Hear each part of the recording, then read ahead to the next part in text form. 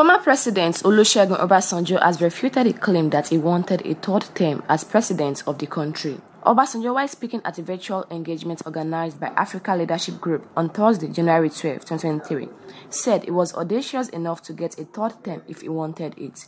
I never asked for a third term. If I wanted a third term, I would have got it. I am audacious enough to know how to get it, the ex-president said. Recall that recently, Obasanjo threw his weight behind Peter Obi, the presidential candidate of the Labour Party. In his New Year message to Nigerians, Obasanjo urged Nigerians to vote for leadership character that will drive the country. Nigeria is where we are because of leadership.